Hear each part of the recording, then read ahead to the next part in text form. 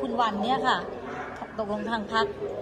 มีมาตรการอะไรยังไงไหมคะหลังจากที่ไปดำเนินเอ่อเหตุการณ์ที่เกิดขึ้นนะครับ ก็คือเมื่อวานนี้เป็นวันประชุมพักอยู่แล้วนะครับค่ะแล้วก็ท่านหัวหน้าเองก็ได้มีการ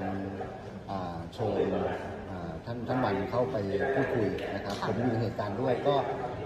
ก็จริงๆแล้วพอเข้ามาคุณบันก็ยอมรับนะครับในสิ่งที่ ที่ทำลงไป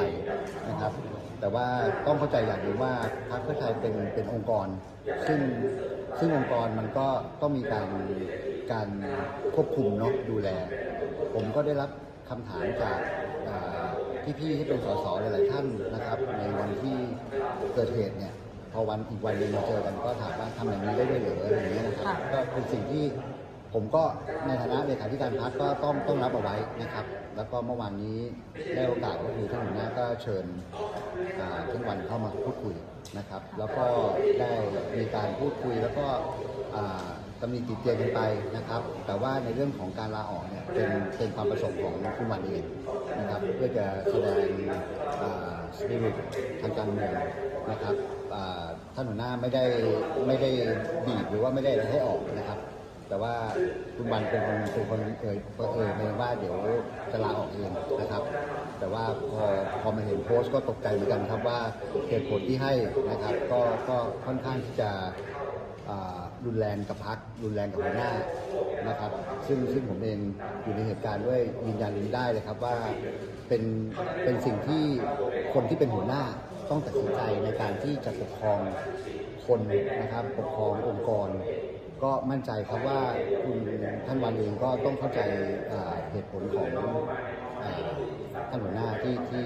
ที่ต้องตำหนิครับ มันทำให้เกิดความแตกหักระหว่างเพื่อไทยกับทางอยู่บำรุงเลยไหมคะเพราะว่าล่าสุดเห็นอาเหลิมก็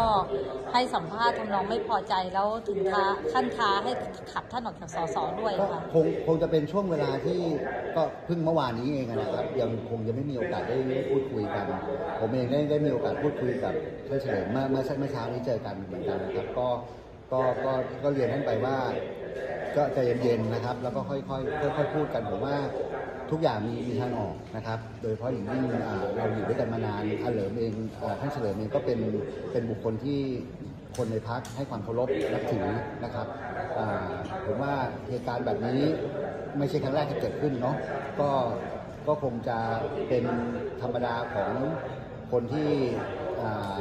ไม่ค่อยได้พูดคุยกันเท่าไหร่ นะครับเพราะเพราะจริงๆท่านเฉลิมเองก็ไม่ไม่ไม่ได้เข้าพักนะครับ แต่ว่าอ่าผมเองก็รับหน้าที่มามาเป็นเป็นคนที่จะช่วยพูดคุยให้นะครับท่านหัวหน้าเองก็ได้ให้เกียรตินะครับ ก็บอกว่าเดี๋ยวมีโอกาสก็เดี๋ยวจะไปทำความเข้าใจครับผมก็คือจะจะยังไงก็จะเคลียร์ใช่ไหมคะไม่ถึงขั้นเอ่อขับออผกมผมอะไรว่าเงี้ไม่ยไม่ไม่หรอกครับ คือการการขับออกจากพักนี่ คือตัวเจ้าตัวเองจะต้องทำทำอะไรร้ายแรงนะครับ นี่คือเอ่อข้อบังคับของพักอยู่แล้วนะครับ แต่ว่าในในในทางคือต้องแยกกันให้ออกว่าระหว่างท่านวันกับท่านเฉลิมก็คนละคนกันเนาะค่ะถึงจะเป็นคุณพ่อคุณพ่อลูกกันก็แล้วแต่แต่ว่าต้องต้องแยกอ่าสิ่งที่สิ่งที่ทำออกจากกันครับ แล้วโตได้ยืนยันอย่างยืนยันตรงนี้เลยว่าสิ่งที่อ่า ท่านวันเอง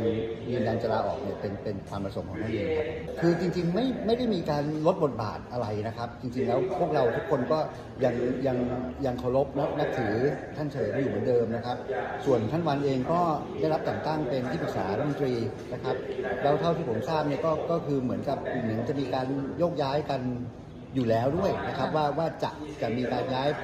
ย้ายกระทรวงให้ท่านท่านวันนะครับ แต่ว่า เหตุการณ์มันเกิดขึ้นก่อน ผมก็ไม่ไม่ไม่เขาไม่ไม่ทราบเหมือนกันว่าว่าว่ามันมันจะต้องเป็นแบบนี้